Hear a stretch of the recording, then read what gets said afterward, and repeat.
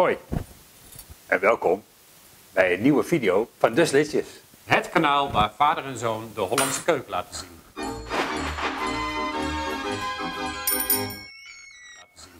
Hollandse keuken. En eh ja, Hollandse dan dit kan het bijna niet. We hebben kabeljauwfilet, pastinaken, worteltjes en peultjes. We gaan het stomen en dat gaan we op verschillende manieren doen. Dus als je geen stoomoven hebt, heb je geen goed excuus om te zeggen van dat kan ik niet. Dan doe ik het in een pannetje. We hebben allemaal oplossingen voor je bedacht. Blijf kijken. Trouwens Thijs, nog eens wat.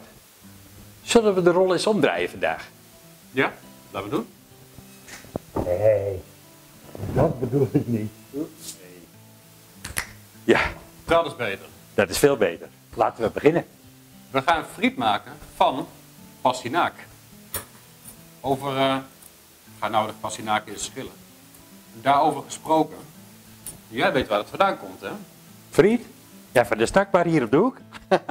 nee, ja, iedereen denkt dat het uit België komt. Schijnt helemaal niet zo niet te zijn. We moeten veel langer eh, geschiedenis in terug. Het Liberisch Schiereiland. Huh? Wat dan? Het Liberisch Schiereiland. Dat is het keer land onder de Pyreneeën. En daar werd voor het eerst aardappels in stukjes gesneden en gebakken in olie. Daar is eigenlijk de friet ontstaan. Nou, de Belgen mogen ermee eh, op de loop gaan. In het grootste gedeelte van Nederland wordt trouwens het patat genoemd.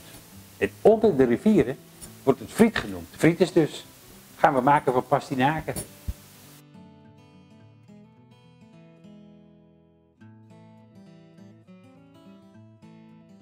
De pastinaken, die hebben we in frietjes gesneden. Die gaan we besprenkelen met eh, olijfolie en met knoflook. Nou heb ik hier een tube, daar heb ik teentjes knoflook in gedaan. En door die heen en weer te draaien, gaan alle velletjes eraf. En wat er overblijft, is echt geniaal. Kijk, dat zijn schone knoflookteentjes. En dit is een, een wip. En die wip die werkt fantastisch. Haalt hem over de teen knoflook heen. De knoflookpers is altijd zo naar schoonmaken. Oh, hoeft niet weg te lopen. Hè? En je wipt hem eroverheen. En aan de bovenkant. Nou, niet natuurlijk met je mes dat ding schoonmaken. Gewoon even met een lepeltje. Kijk eens. En dat is het. En dat is wat er overblijft. Even afspoelen onder de kraan. En klaar is hij. De knoflook. Gooi je in de kom. De pastinaken gooien we erbij. In ieder geval voor een deel alvast even. Knoflookolie. Zelf gemaakt. Gewoon een paar teentjes knoflook in de olie zetten en dan lekker lang laten staan. Er zit een takje tijm bij in. Nog een deel van de pastinaken erbij. Ik heb citroentijn uit de eigen, uit de eigen tuin. Afgelopen herfst gedroogd. eh,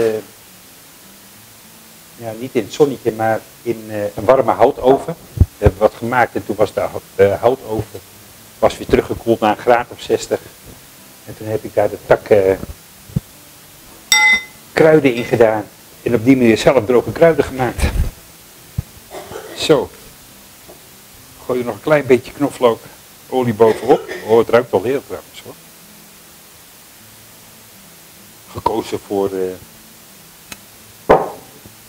citroentijn.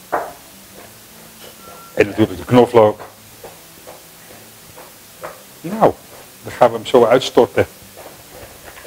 Op een bakplaat.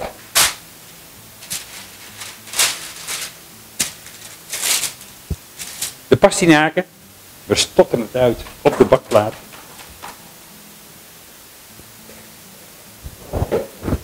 Met de kruiden. En de olie. Nog een beetje doorhusselen. Want de kruiden gaan natuurlijk altijd door de grofheid van de pastinaken, van de pastinaken eerst naar beneden toe. Zo. De oven is op temperatuur gaan we hem erin schuiven.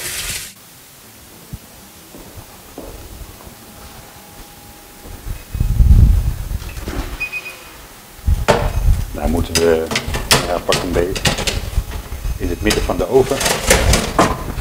Maar dan moeten we hem na zo'n minuut of 20, 25 moeten we hem een keer eh, omschudden.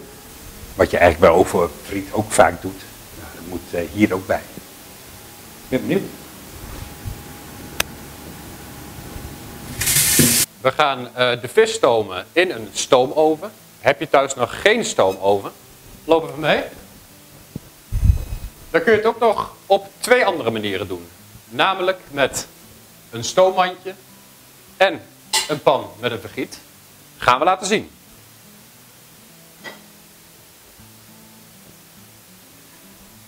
De pan die eh, vul je met, eh, met water. Heet water. Is altijd een stukje sneller natuurlijk. En die gaan we aan de kook brengen.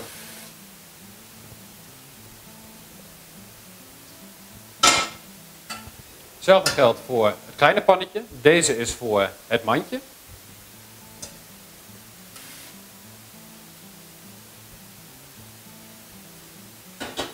En wat we eerst gaan doen, is beide pannen aan het koken maken.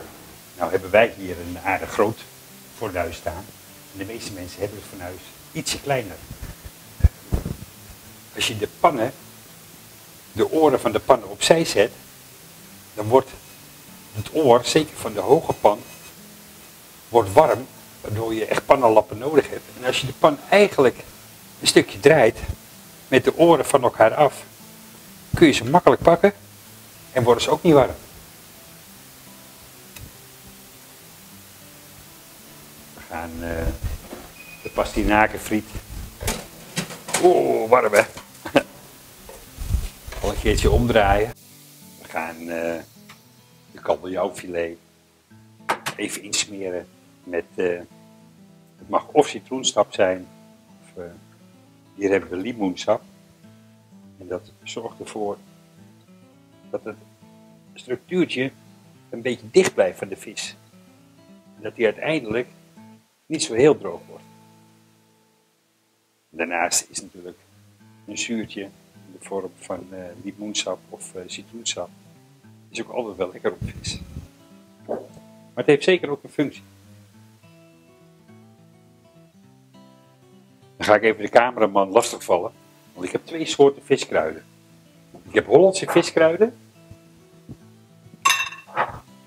En ik heb Scandinavische viskruiden. Dan mag jij ruiken.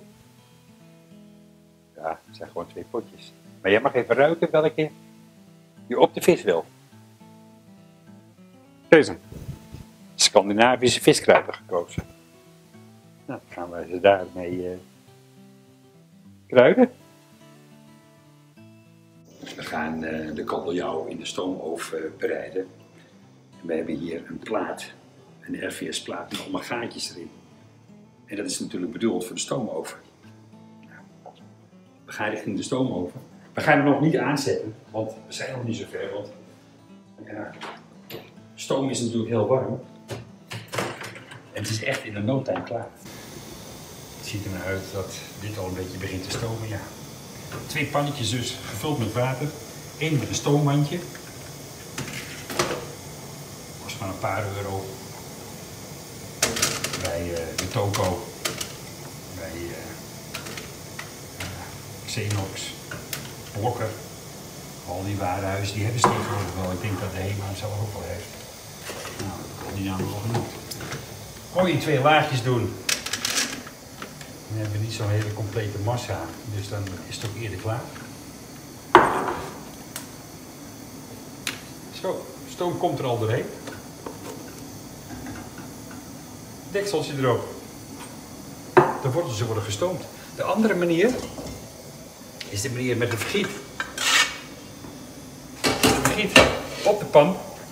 En je ziet al, nou ik weet niet of het op de, op de camera zichtbaar is, maar je ziet al dat er, dat er stoom door de gaatjes heen wil komen. Zeker denk ik als ik hem even optil en er weer opzet.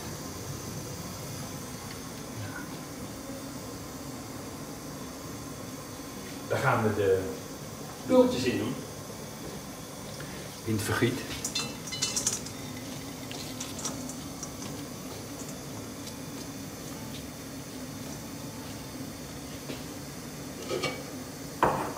Een deksel erop. En je kunt het al zien. de deksel gaat beslaan. Dat betekent dat de stoom er al doorheen komt. Dus de pultjes worden ook gestoomd. De kabeljauwfilet staat in de oven. 85 graden, ongeveer 6 minuten. De pastinaken in de hete luchtoven. Bijna klaar. We hebben de groenten gestoomd. En zoals je ziet, dat gaat prima. En deze mandjes zijn natuurlijk er speciaal voor bedoeld. Een nadeel van stomen is dat er niet zoveel smaak aan het eten zit. Dus dat moet je toevoegen. Dan kun je met sojasausjes doen. En, ja, boter bij de vis zeg ik altijd. Dus ik maak toch een botersausje. Een botersausje samen met eh, honing en een beetje mosterd. Beetje roomboter in een pannetje gedaan.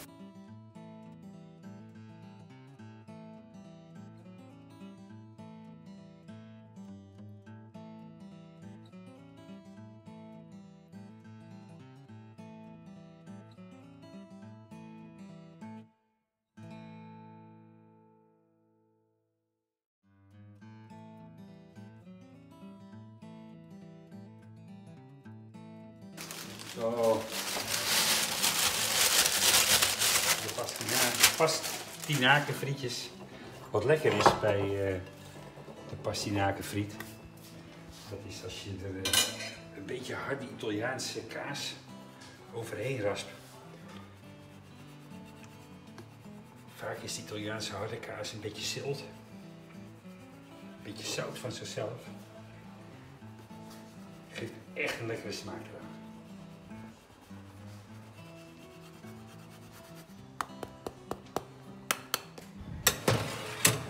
Kijk eens.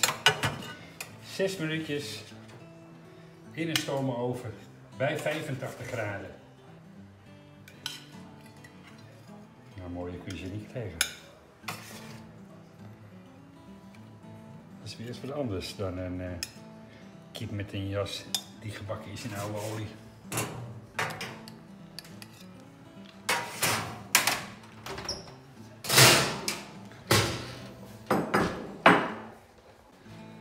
Is bijna zover. We hebben de vis uit de oven gehaald. We hebben de pastinaak uit de oven gehaald. En we hebben de groenten gestoomd. En die schudden we dan nog eventjes in een kommetje. Het is een beetje improviseren, maar zo zie je. Dan kun je eigenlijk altijd een stoomoventje creëren. Ook als je er geen hebt. Een vergiet en een pannetje.